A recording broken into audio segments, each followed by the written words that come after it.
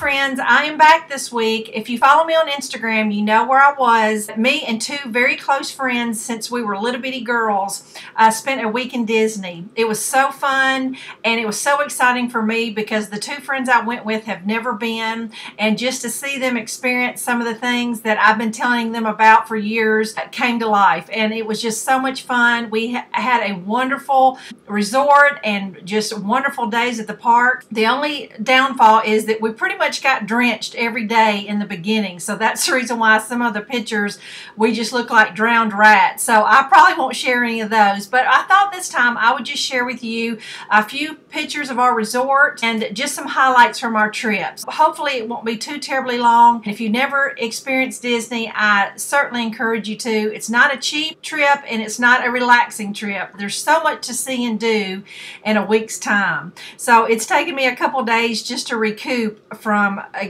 being home. So I hope you enjoy it and I will see you the end of the week with a really cute project. Bye-bye.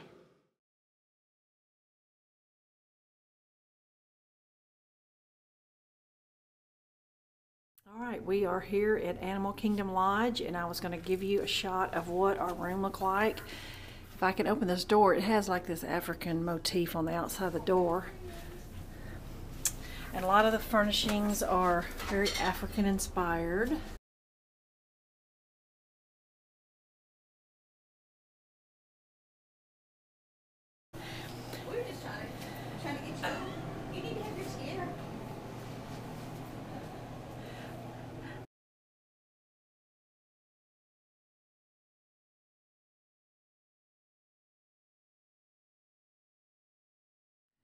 Well, this is Monday morning, stepping out on our patio. This is our view from our room. This is some kind of fenced corral down here. But we are looking for giraffes.